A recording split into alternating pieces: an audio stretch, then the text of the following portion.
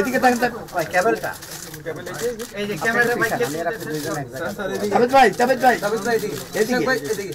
প্রক্রিয়াকে কীভাবে নষ্ট করে ঘোষণা হয়ে যায় এক একটা রায়? তো আমাদের আশঙ্কা যে এইবার একই ধরনের একটা নাটক বোধহয় সরকারের দিক থেকে তারা প্রস্তুতি নিচ্ছে করার। কিন্তু আমাদের কথা হলো যে জনগণ কাছে যাওয়া জনগণকে জানানো যে দেশের মালিক তারা এবং তাদেরকে এগিয়ে আসতে হবে। ঘন মানে সেই জোরালোভাবে ঘুরে, সামনে আসতে হবে যাতে মানুষ বুঝুক যে দেশের মালিক যারা আছে, তারা এই ব্যাপারে তাদের ভূমিকা রাখতে সব দিক থেকে তারা আগ্রহী।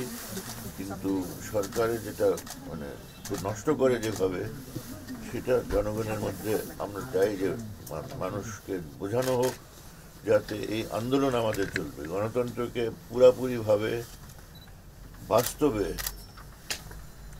জাগানোর জন্য আমাদের ঐক্যবদ্ধ জনগণের আন্দোলনকে আরও জোরদার করা হবে এবং এর মধ্যে দিয়ে অবশ্যই জনগণ তাদের মালিকানা দেশে প্রতিষ্ঠা করবে। প্রকৃত অর্থে গণতন্ত্র দেশে প্রতিষ্ঠিত হবে। যদিও এই সরকারের যেসব কার্যকলাপের মধ্যে দিয়ে গণতন্ত্রকে সব দিক থেকে ধ্বংস করা হয়েছে এবং সেই প্রস্তুতি তারা আবার নিচ্ছে। তাই আমি বলব যে জনগণের কাছে আমার আবেদন জানেন এটা নিজের অধিকার প্রতিষ্ঠা করার জন্য, দেশকে বাঁচানোর জন্য সবাই এগিয়ে আসবেন। এই ভোটে যাতে দেখানো যাক যে জনগণ যেটা চাচ্ছে সেটা আইদার আমরা মানে সেই নির্বাচনকে করাতে পারি।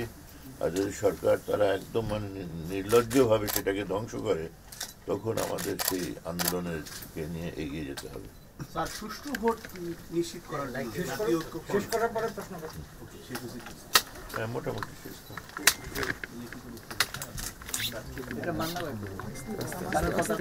ভাই